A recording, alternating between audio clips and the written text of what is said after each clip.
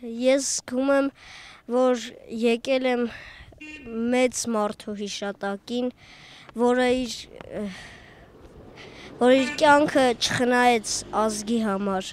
Թաթուլ Կրպեյանի անվան ազգագրական երկի բարի համույթի երեխաները երկար ճանապարհ են անցել։ Նրանք Լեռնային Ղարաբաղի Քաշաթաղի շրջանից են եկել Թաթուլ գյուղ։ Համույթի սաները առաջին անգամ չէ, որ նման ուխտագնացություն են կատարում։ Նրանք հաճախ են այցելում ազատամարտիկների շիրիմներին, տեղի բնակիչների համար էլ համերգ կազմակերպում։ Եկել ենք մեկ անգամ եւս հա մեր շնորհակալական խոսքը ասելու այն ազատամարտիկներին, որոնք իրենց կյանքը նվիրեցին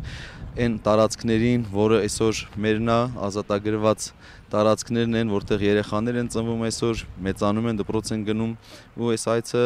խորհրդանշում է մեր շնորհակալական խոսքը դեպի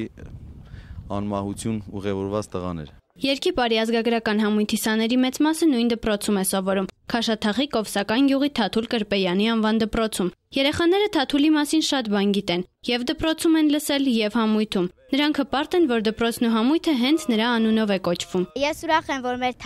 մեր խմբի անուն, ազգագրական երկի խմբի անունը Թաթուլ է, եւ հպարտանում եմ Թաթուլով, որովհետեւ ինքը զոհվել է Արեգյուղում, պաշտպանել է մեր հայրենիքը, որպեսզի մեր գլուխները դնենք բարձին եւ հանգիստ քնենք։ Ես Սիրիայից եմ եկել, որպեսզի ապրեմ իմ հայրենի հողում շատ հբարդ եմ ուրախ եմ, որ սովորում եմ Տաթուլ Գրբեյանի անվան դպրոցում։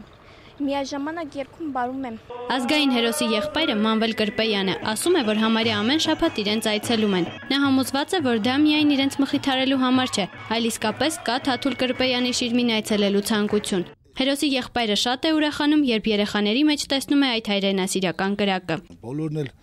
գալիս են իրենց հոգով, ոչ թե